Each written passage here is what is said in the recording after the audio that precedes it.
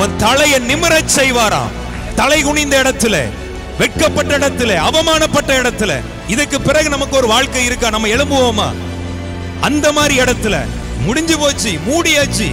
மறுபடி உன்னை எழுந்து நிமிரச் செய்கிறவர். எத்தனை பேர் நம்புறீங்க? இந்த ரெண்டாயிரத்தி இருபத்தி ஒண்ணுல உன் அரிக்கட்டு நிமிர்ந்திருக்க போகிறது. தலை குனிஞ்சிருந்த காலங்கள் அல்ல. உன் அரிக்கட்டு நிமிர்ந்திருந்தது என்று கத்தர் சொல்லுகிறார்.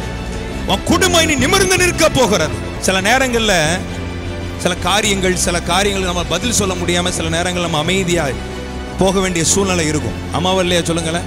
சில ஃபங்க்ஷனுக்கு கூட போகிறதுக்கு யோசிப்போம். ஏன்னா ஏதாவது கேட்டுருவாங்க? அப்போ என்ன அவன் தலை குனிஞ்சு இருப்போம்.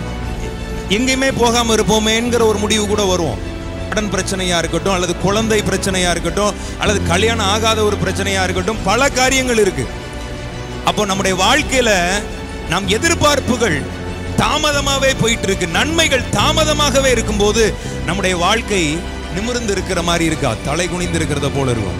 ஆனா இன்னைக்கு ஆண்டவர் நம்மோடு இடைப்படுகிறார். அந்த தலை குனிந்த வாழ்க்கை மாறி இன்றைக்கு கர்த்தர் தலை நிமிரச் செய்ய போகிறாராம். யோசேப்பின் அரிக்கட்டுகள் நிமிர்ந்திருந்தது.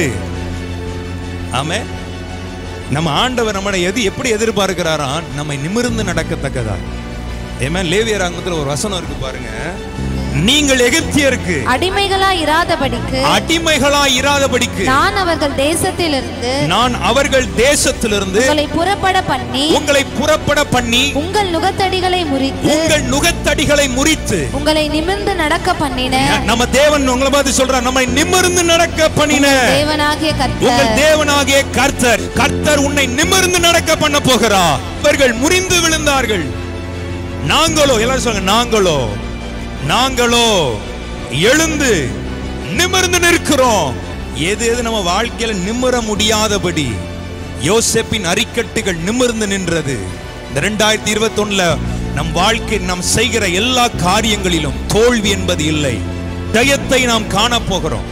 அற்புதத்தை காணப்போகிறோம் செய்கிற எல்லாவற்றிலும் கர்த்தர் நம்மை தலையை நிமிரச் செய்யணும் அவர் நிமிரச் செய்கிறவர். உலர்ந்த எலும்பு நிமிர்ந்து நின்னுச்சான் எழுந்து நின்னுச்சான் எத்தனை பேர் நம்புறீங்க கர்த்தரனை என எழும்பி நிமிர்ந்து நிக்க பண்ண போகிறார். பதினெட்டு வருஷம் ஒருத்திய ஒரு அடிமைத்தன நுகத்தடி முறிச்சு வச்சிருந்துச்சு.